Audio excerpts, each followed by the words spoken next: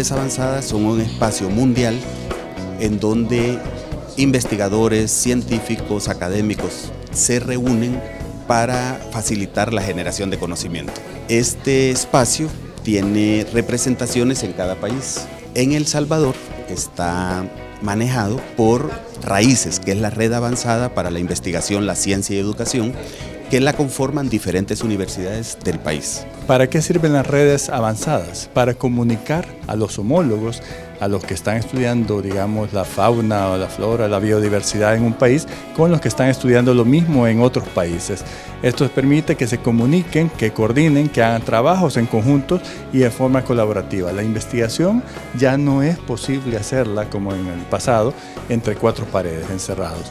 Hay que abrirse al mundo, hay que comunicarse con otros colegas, homólogos que han avanzado quizás o han cometido incluso errores, pero se aprende de ellos antes de seguir con una investigación. Estamos participando en el relanzamiento de Raíces, Redes Avanzadas en El Salvador.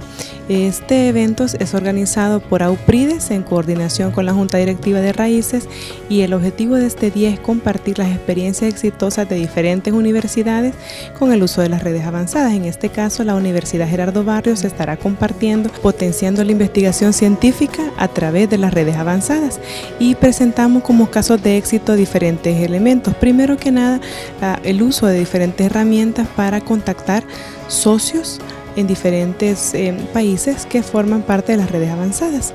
Eh, se comparten algunos logros como es creación de comunidades en temas de derecho, por ejemplo, participación en congresos y otros espacios académicos y científicos que han sido a través de las redes avanzadas. Además, el fortalecimiento del comité científico a través del uso de la herramienta como por ejemplo BC Expreso. Cada universidad ha trabajado eh, durante el 2018 con diferentes proyectos. Se han manejado cerca de 120 proyectos. Principalmente la Universidad Gerardo Barrios ha hecho una serie de iniciativas porque ellos quieren mantener el liderazgo en la gestión de conocimiento a nivel de país, no solo con Oriente. Lo bueno es que no es un apoyo a la universidad, la universidad está comprometida, la Universidad Gerardo Barrio está comprometida, cree mucho en este proyecto, ha creído desde hace muchos años y está, es partícipe, es muy activa participando en esto porque como decimos, eh, se dice el tono desde arriba, es decir, desde las autoridades, son las que incitan, motivan a sus docentes y estudiantes y investigadores a que